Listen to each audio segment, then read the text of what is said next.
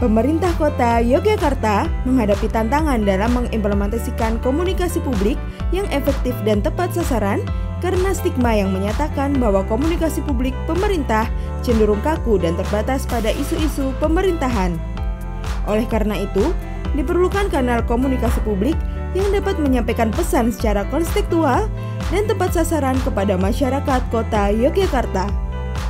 Dinas Kominfosan menyasar kantor pelayanan publik seperti Kementerian dan Puskesmas, serta aplikasi Jogja Smart Service yang merupakan lokasi strategis di mana banyak masyarakat mengakses layanan Pemkot Jogja.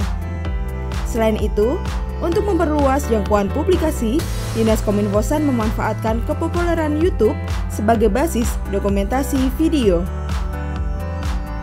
Dalam upaya mempermudah penerimaan oleh masyarakat dan menciptakan rasa memiliki, kanal publikasi ini diberi nama YKTV, yang merupakan singkatan dari Yogyakarta Television atau televisinya Yogyakarta.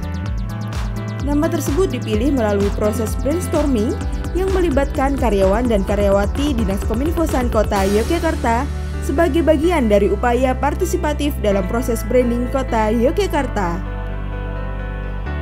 YKTV berfungsi sebagai kanal komunikasi publik dengan pendekatan pentahelik yang melibatkan pemerintah, masyarakat, korporasi, media massa, dan akademisi.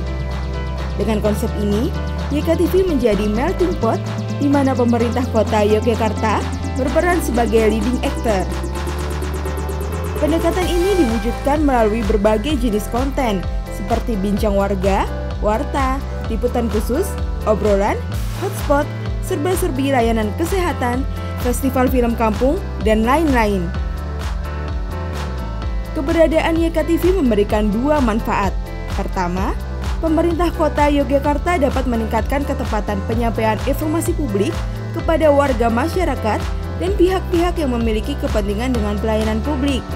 Selain itu, konten yang lebih menarik dan relevan juga dapat meningkatkan efektivitas komunikasi publik.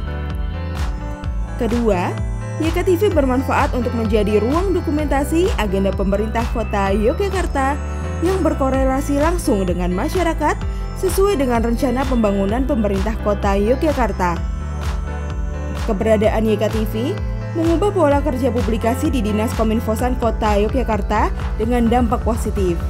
Pertama, metode pendekatan publikasi yang berbeda ke masyarakat dibandingkan dengan akun ofisial pemerintah secara umum dapat memunculkan apresiasi masyarakat. Kedua, YKTV mengubah medium publikasi dari bentuk teks dan foto berita di website menjadi konten audiovisual. Dampak ketiga, YKTV memberikan ruang kepada masyarakat untuk menyampaikan aspirasi melalui kolom komentar pada video-video yang telah terpublikasi di YouTube.